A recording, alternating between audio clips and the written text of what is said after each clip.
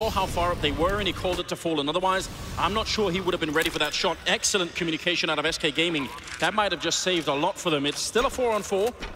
Now, grenades in the corner, clearing that up. Taco jumping and not seeing anyone. Another retake is what's on the menu here for the Brazilian boys. And dupreeh's actually holding the middle. Very aggressive coming out here. Another trade in. Sip and boltz both out.